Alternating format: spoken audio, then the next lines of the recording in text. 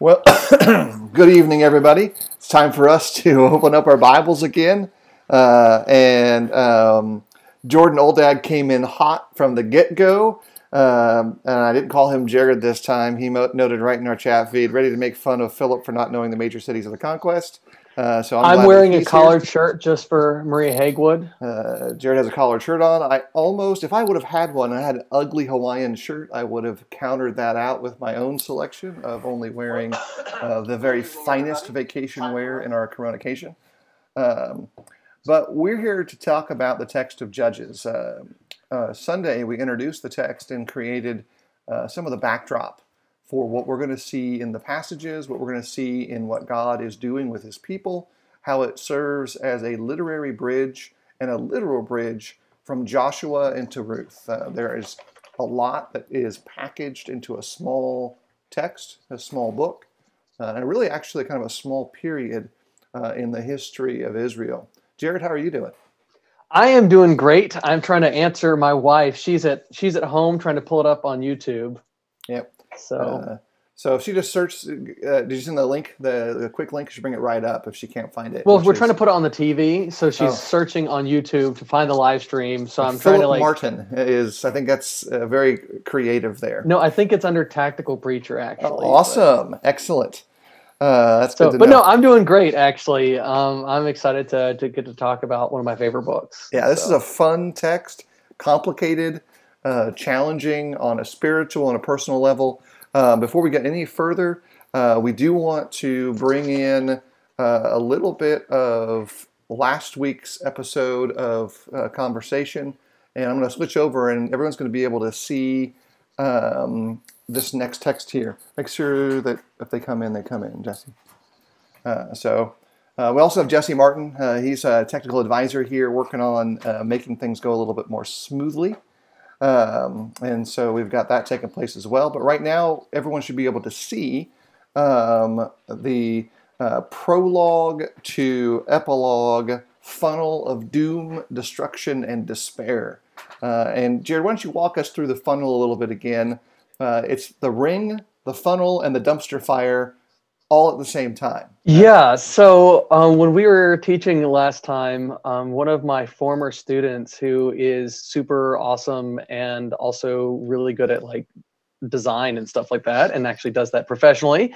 Uh, shout out to Maria Hagwood. She said, "You know what? I was thinking about this and talking about how you were talking about how it's a dumpster fire and." How it's this kind of cycle of terribleness. And so I wanted to illustrate that in kind of a toilet bowl sort of scenario or tornado, if you'd rather. And so she took that and then redid this here. And this really gets to the heart of what Judges is doing.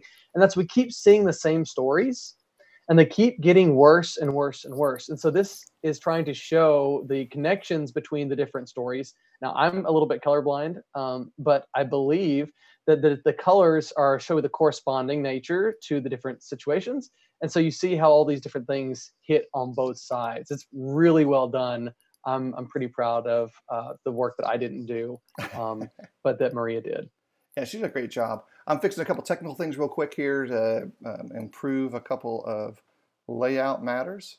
Um, so just give me one second as we kind of dial that back in. Um, we're trying our very best to give as many people an opportunity to participate, and so that's um, increasing uh, some of the back end stuff. That's why Jesse's here to help as well. Um, so what we have here, um, kind of shown in the text, uh, again, is a cycle of despair and doom that's tied together in all these stories. Uh, and uh, with that, uh, we leave behind the conquest of Canaan and into our subtitle uh, for this, which is, the, which is the conquest that wasn't uh, in these first couple chapters of the text of Judges.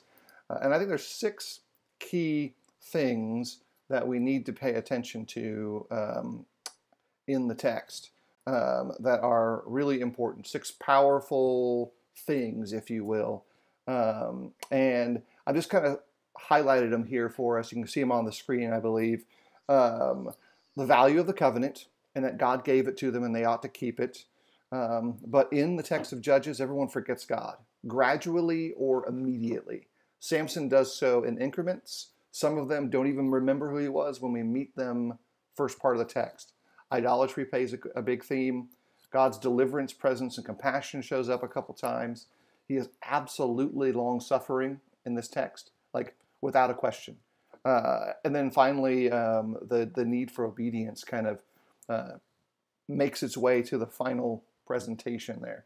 So, with all that as a backdrop, Jared's going to walk us through the two segments of our study for tonight in a storytelling way. So, we're going to break it down chapter 1 and then chapter 2, verses 1 through 5, and just briefly run through what's present in the text. Uh, side notes if you have questions, comments, things you want to bring in, please let us know in the chat feed. Um, we'll bring it to the table and we can all uh, see all of that take place. So, Jared, uh, this is the go button. You've got like 7.2 minutes. And Seven point two minutes. Uh, we'll, we'll, we, I don't even think we'll take necessarily all of that. So Philip put up a map for you, and that's really useful because the book of Judges breaks into three main parts, if we want to think about it that way. The first part is this prologue in chapters one um, through verse one through two five. The second part is the epilogue. That's chapters really 17 through 21. And then, of course, the middle part, which is the part with the actual judges in it. But as you read through that a little more closely, you realize that they're told in the same way. And that is that each of these stories, in the beginning, the middle, and the end, is going to start with Judah as the tribe and end with Dan as the tribe. So we're going to see Judah first here in chapter one, and it's going to end with Dan as the last tribe to mention in this anti-conquest narrative. And the same thing is true. You know, if you memorize, you know, the Judges, right? Any of y'all have to memorize the Judges song, you know, growing up in church or something like that. And then the first judge is Othniel, and he is from what tribe, Philip? I know you're ready for this one. Uh, I'm actually fixing more technical stuff, but go oh, ahead. See, I sense weakness. No, sense weakness. Um, no, there's no weakness here. I'm actually trying to fix the rest of the feed. So, so Othniel is from Judah, and the last judge in the book of Judges is, of course, Samson, who is from Dan. Yeah. Well, then we get to the epilogue, and how's it going to do it? We start with a a Levite, but that Levite is from Judah, and it ends, of course, with going to the tribe of Dan and the terrible um, things that are that are that are working through there and how it works with Benjamin and everything else. So uh, these focuses are going to be beginning, middle, and end. It shows that God is made his inspired writer put it together in this way, and so we can see that then when it starts out where it starts good, like in the uh, okay or tr- troubling, and then it just goes down that dumpster fire of bad, um, like we saw in the spiral. So it starts out, and we have it looks exactly like the book of Joshua. Even the same phrase, you know, after the death of this person, uh, the next person takes the place. That's how the book of Joshua begins. After the death of jo- uh, Moses, Joshua takes the place. But here, no one takes the place of Joshua. Mm-hmm. There's not a new leader who's going to step up, who's going to be that guy. Instead, we transition straight to the tribes and they ask, hey, who's going to be the person to go up against the Canaanites? Well, at the end of the story in chapter 21, it's going to be, in chapter 20, it's going to be who's going to go up against Benjamin. And, so there, the Judah's going to go up first. But even though God tells Judah to do it, Judah's not willing to do it what God says. Instead, they're like, okay, well, we need more help. So he gets Simeon to come and help him with it, and they go up to go uh, attack. And at first, it seems like they're winning and beating the Canaanites, but then you get this really troubling story that they capture this Canaanite king, Adoni Bezek, and they chop off his thumbs and his big toes. We might bring up that in a minute because that's a really crazy story. And but you know they go through and they capture land and everything seems to be going well for them. And then we get this resounding but. And you yeah. can just feel it when you get to that text. Yeah. And that is that even though it looks like they do exactly what God says they're supposed to do, but yeah. Right? But, they don't they don't finish it. Yeah. And then it just gets worse. It gets significantly worse for them. Um, and there are some indicators in this story, and especially uh, in looking at the first part of the two failures that are the two uh, prologue parts military failure, religious failure that are echoes of the, of the, of the story of Joshua and conquest, um, where things that were done were actually left undone. Um, and in each of those portions and settings, a lot of those incomplete parts um, crumble quickly in Judges. Um, and it's more than just the first layer of things. I, think this is one of the things I try to uh, emphasize from my understanding of it is that um, what you see taking place uh, in uh, the, the text here is more than just we left some slaves inside the boundaries of Israel. Uh, we failed to push out all of the other people. Those are key things. They're covenant issues. They're certainly violation of God's desires for them, but there is the early introduction of separate worship. Uh, there is the big closeout of we need to go fight against ourselves on the other side of the Jordan, which will reappear and rear its ugly head in the text of Judges as well. Um, there is um, a general acceptance of it's okay to worship whoever you want. Um, uh, that gradually, and whoever they want, almost always turns to ourselves in Judges. Worship power, worship strength, um, and each of those things slowly unroll. Um, you know, uh, in the text itself. Um, did you want that text to Judges 2 uh, up there just yet, or? Yeah, just one second. I was just going to say, and then it gets worse, right? Because Judah mostly wins, but it keeps getting worse and worse and worse for all the other tribes. And then we end with Dan, and it's not even they win, right? It's that they're they don't get any of the land. They're going to get pushed out. So it just keeps getting worse. And yeah, and then you've got this religious failure that you're going to see in chapter two, verses one through five, and uh, you can definitely put up the text for that because this is this is neat stuff. Yeah. So we'll go. So ahead. they get to chapter chapter two, and it's obvious that they failed because what happens immediately, right? God's messenger shows up. And you notice where they're at? They're at near Gilgal and Bochim. And this has got to remind us of two texts that a lot of times we don't connect to it, and that's is Exodus chapter 23, verses 20 and 33, and chapter 34, verses 11 through 5, uh, 15. They are almost the exact same text word for word, but the difference is in Exodus, God sends his the the commander of the armies of the Lord, who we're supposed to understand this guy is. He says, "Hey, I'm going to go drive out the Canaanites for you." And here God says, "Hey, I'm actually going to fight for the Canaanites against you." It's exactly the same as Joshua chapter 5 verse 14, but in the reverse. That God says, "Look, I did all this stuff for you. I brought you out of the Exodus. I, I defeated all these other people, but here you are and what are you doing? You're already worshiping other people's idols again. Right, and that's the echo of the closing refrains of, of Joshua. Um, there are two things I think important to understand about the text of Judges, at least right now, and paying attention to chapter 1, chapter 2. Um, number one, uh, it's highly interconnected with what just took place uh, in the story. Um, and number two, it is not just the greatest hits of a few faithful guys um, sometimes we have kind of made a derivative or a, a, really thin veneer look at some of these men and women. And then at the end, we come back to them and we look at them and we go, yeah, but what about all this other stuff that takes place? This does not exclude the textual tension that at other points in the Bible, these men are praised for their faith, for their obedience, uh, which, by the way, is no different than any other person in the Old Testament, from Adam to Jesus and beyond as time frames. Um, and I say as all inclusive of humanity, uh, man makes mistakes. Some mistakes that man makes are intentional and horrible, and God uses horrible things to create beauty. Um, and so I think there's a, a, lot that goes on in this text itself that we need to pay attention to. So that's gives us some big picture stuff.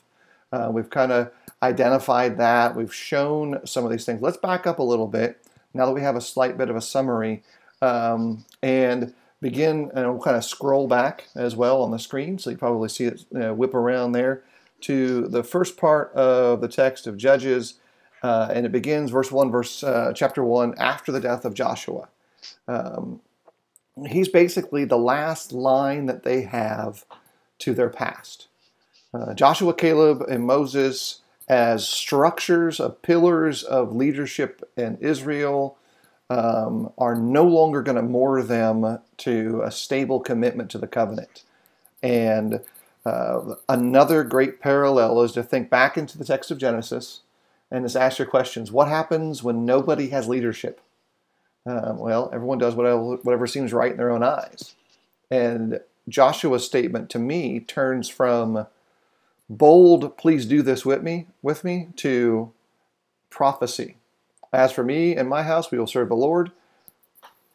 He's basically hinting at the reality with a big picture. Nobody else is going to. Uh, and nobody else really consistently does um, as a group. Um, some do. Uh, there's certainly some participation there. Uh, but as a group, this part of Israel, excluding Rahab to Boaz to Ruth, uh, which isn't covered in Judges, um, they don't. This is the, the, the trash compactor dumpster fire. So in the first segment here, let's say verses 1 through 7 as a, as a random chunk of text. Um, what some are some things we should be paying attention to that are either in the realm of language or intertextual possibilities that might be hidden when we only are able to look at the English translation? Yeah, so one thing that you're definitely going to want to pay attention to, and it starts us off right here because this is really cool. Judges is one of the very few Old Testament books that has a real prologue. Yeah. Right. I mean, think about all the other intertestament, um, all the other Old Testament narrative books, whether it's Samuel's or Kings, they don't have a prologue, right? You just jump straight into the history, and it's just off to the races. Um, but this is a prologue, and the way we would think about it, you know, in in in modern cinema or something else, right? And we know how prologues work if they're good, if it's good storytelling, right? And that is you're going to introduce all the stuff that you're going to come back to later. And so here we're going to have this really weird story that everybody likes to skip over, and that is taking this guy, get this Canaanite, the Adoni Bezek, and you chop off his thumbs and his big toes. And like you read that, and like what what's your reaction to that? I mean, you read that, and you're like, okay, that's real weird. Is that a good thing or a bad thing, Philip? Well, um, there's a couple layers to it. You know, obviously, um, the selection of the location of the damage is basically going to make him incapable of engaging in physical activity uh, of the kind that would be expected of a leader, of a fighter in a culture of um, Canaanite slash Israelite confines. Basically, he is on is is made useless in that sense.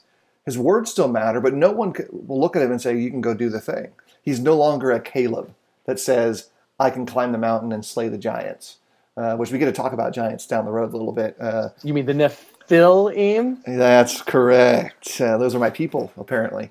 Uh, yeah. So, so, you've got that. It's meant, and it's not just that. It's also meant to humiliate them. Yeah. Yeah. It's a humbling moment.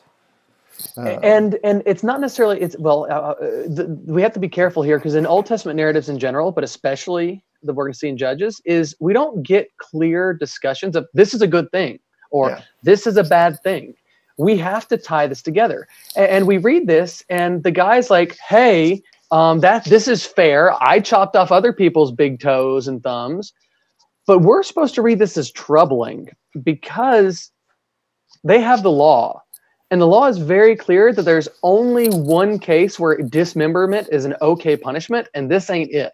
Yeah. They're already going off script. They're already not following the law. They're already acting just like the Canaanites around them. They're doing what he does.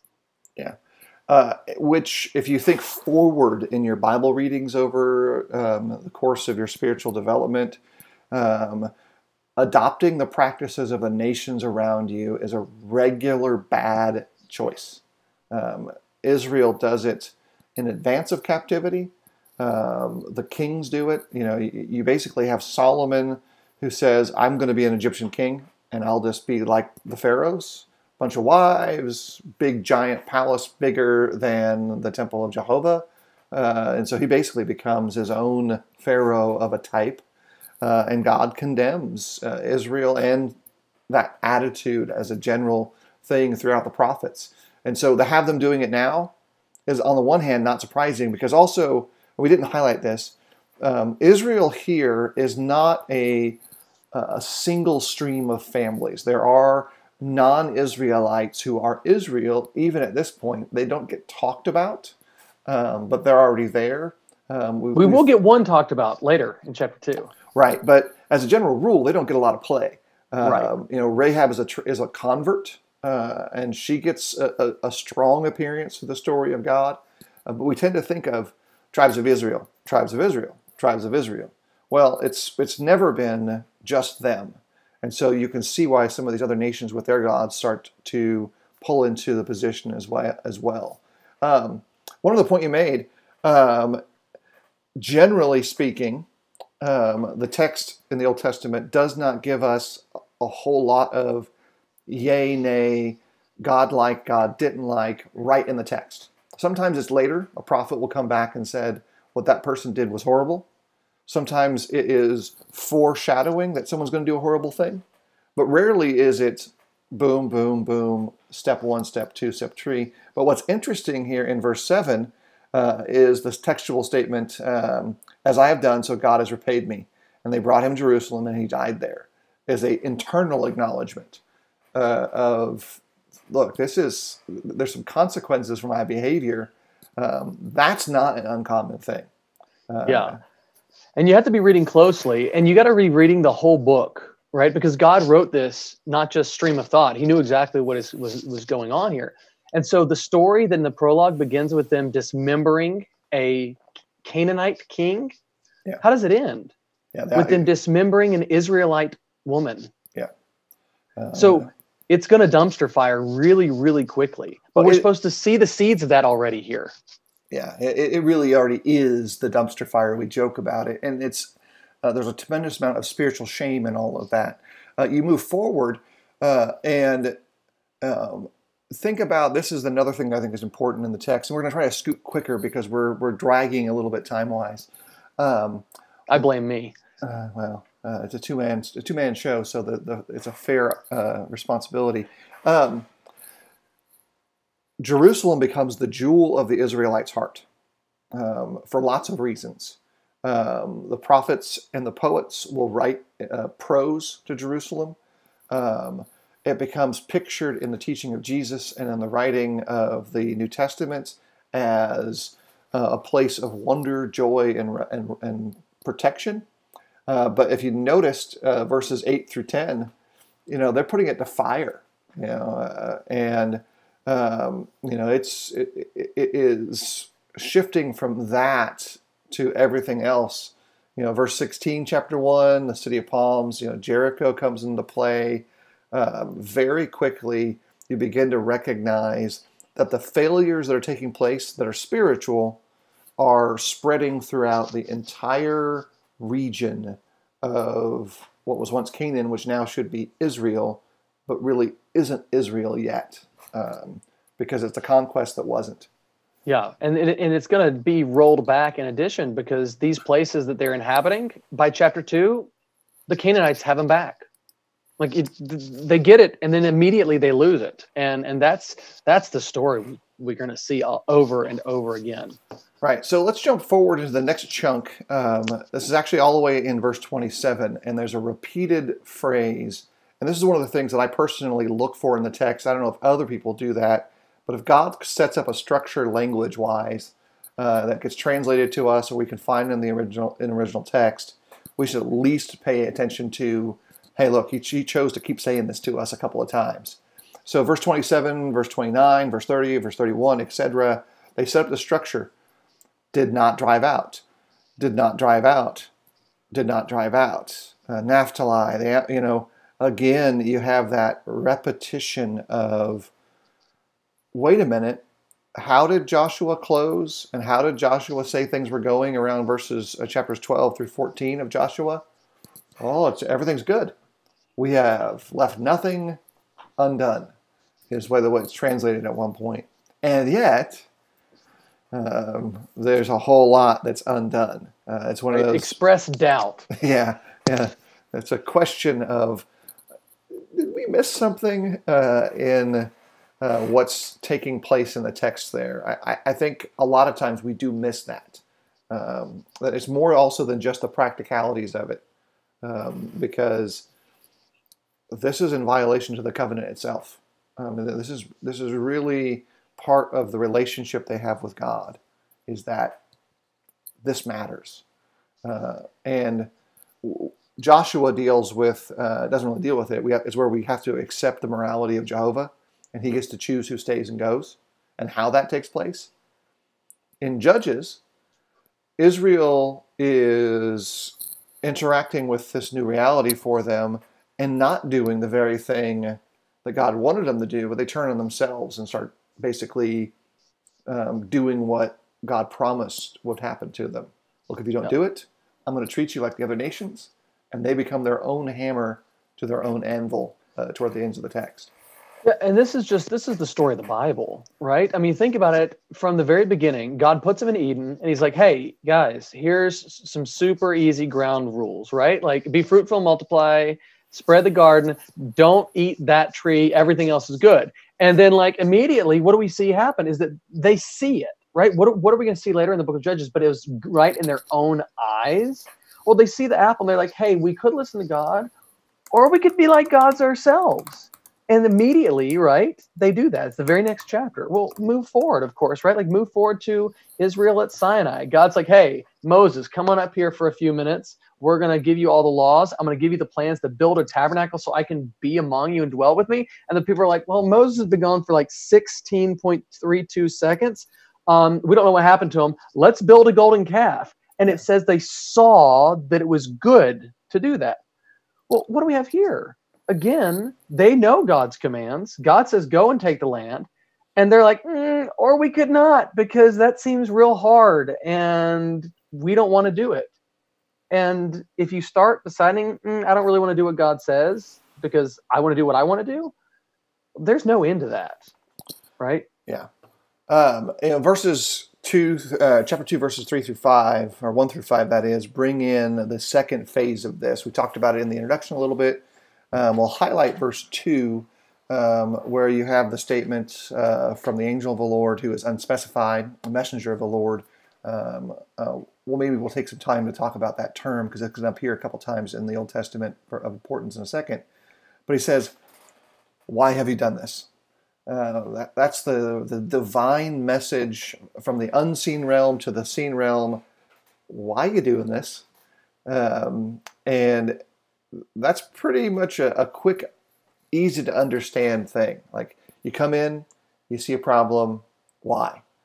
Uh, but let's back up just a second because uh, we've already explained the character of the uh, of the leadership of Israel, which is whomever um, and whatever, uh, and the shift off of Joshua from the chunk.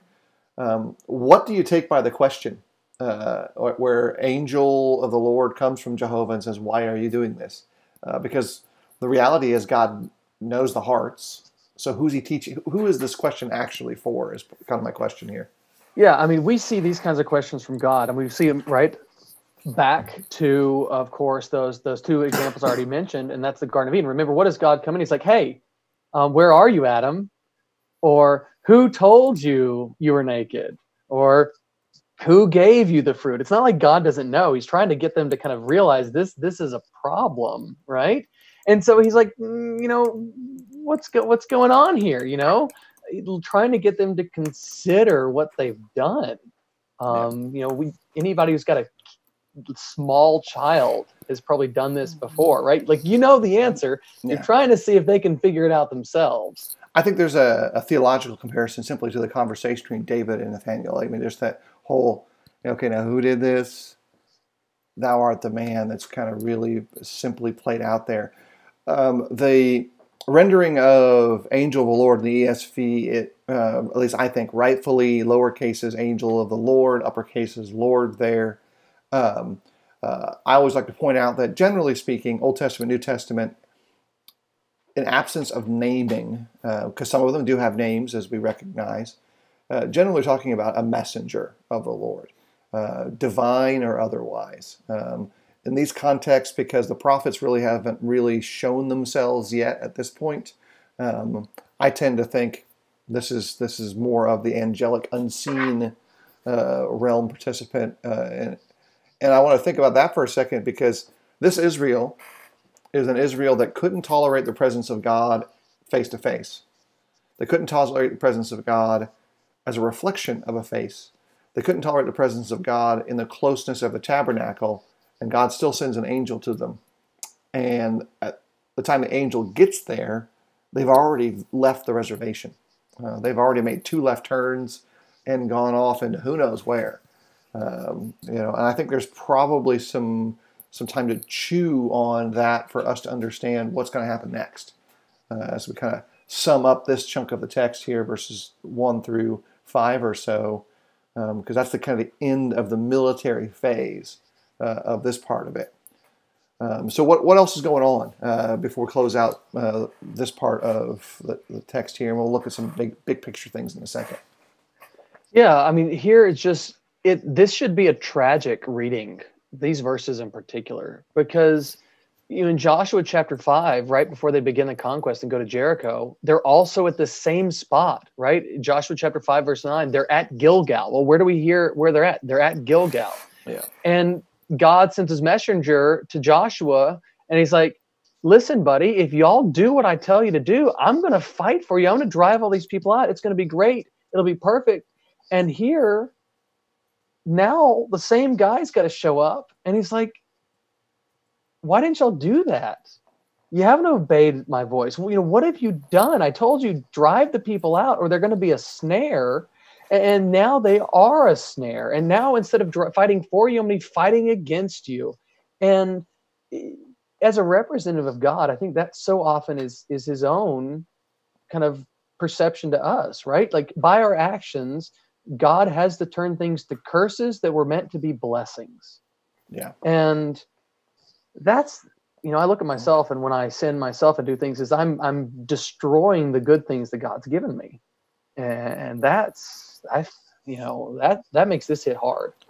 Yeah, it, um, a couple other things. You know, you think about um, even before they made entry into the land of Canaan, one of the promises that were made to the half tribe of Manasseh and the others who wanted to stay on the other side, the Transjordan, you know, um, contingent, if you will, was if you don't go in, we're going to treat you like these nations we just interacted with.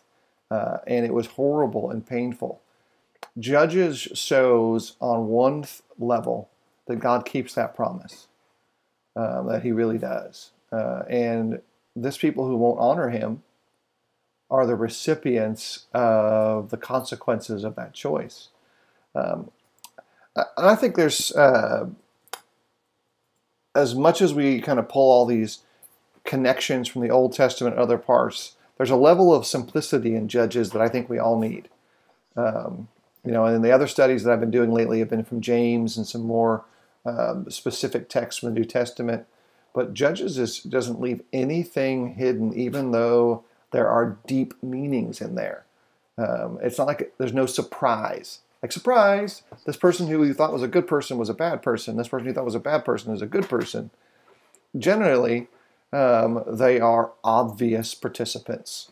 Um, even the most uh, subtle, which is Samson, because Samson is, has a subtlety underneath his physical narrative, still is very obviously leaving God behind.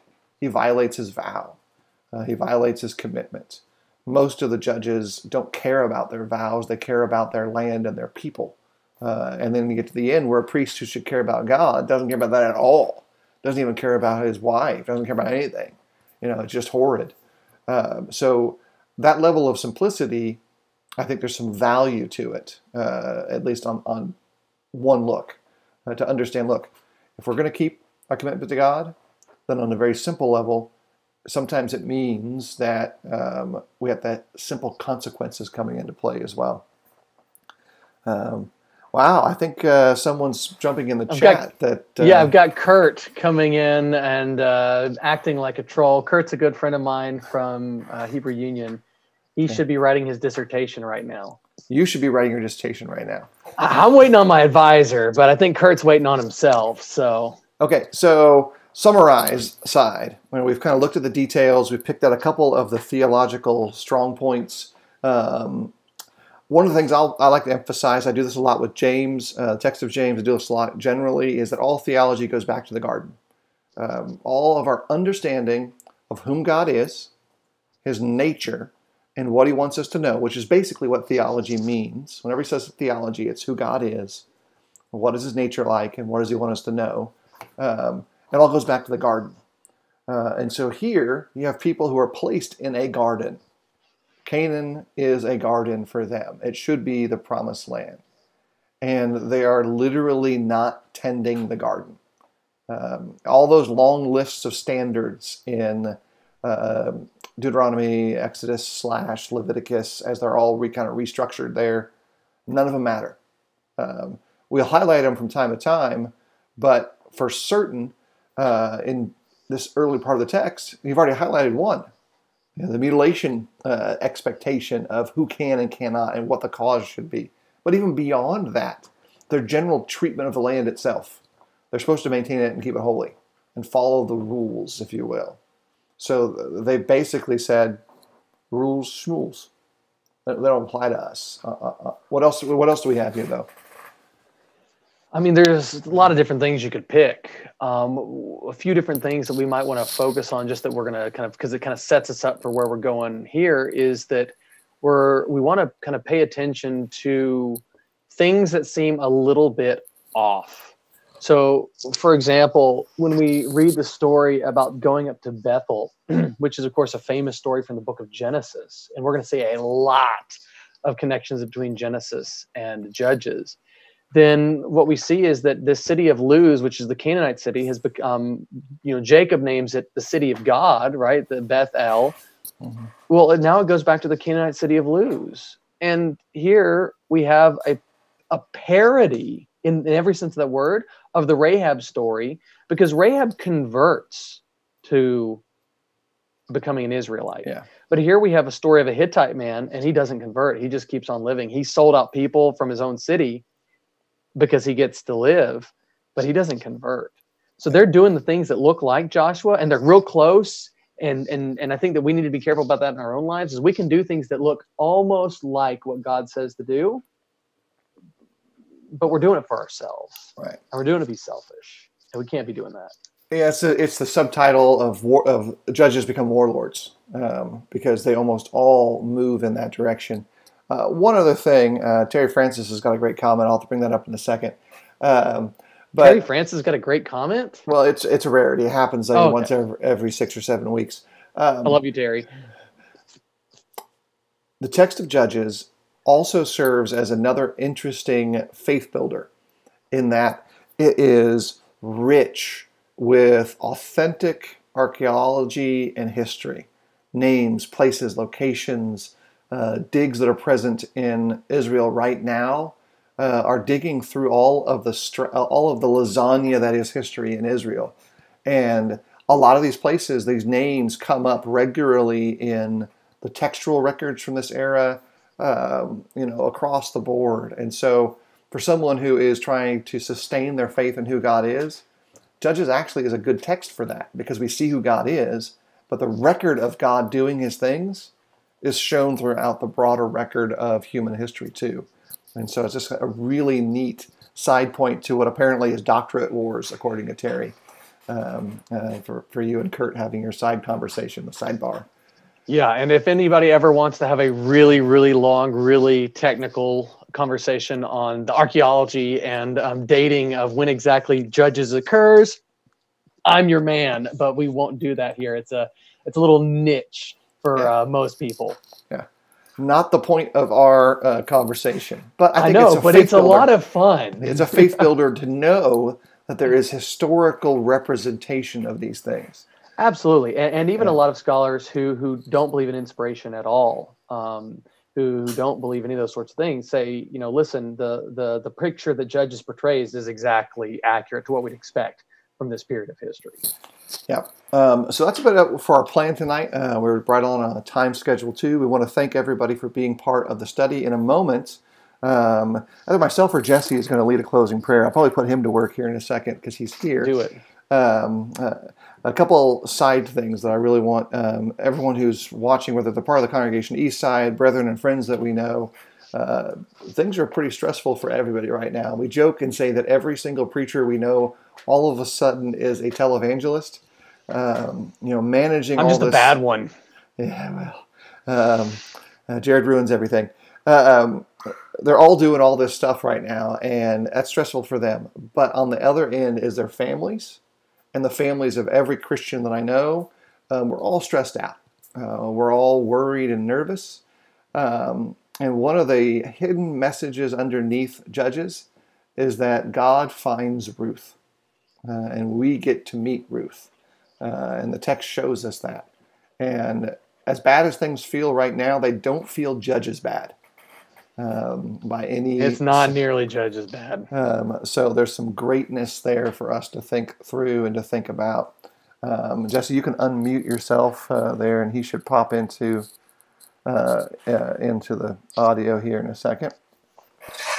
Um, uh, so, so, you're going to want to use that, Jesse, to do it. And he's going to lead, lead us in, in prayer. prayer. And, and go ahead. Let us pray. Father, we thank you so much for the opportunity that we have to be able to study, even though we have to stay separated from our family to keep them safe and to keep us safe. We thank you for the opportunity we have to study your word, to spend time seeing what your people have done in the past, and to learn about what we should do now, and to learn that we should not be afraid, Lord. When we pray now for the people our family who are suffering because of the virus that is currently all over the world. Lord, we pray for their health. We pray that they remember that you are truly always there with them, Lord. We thank you for that great blessing. In your son's name we pray. Amen.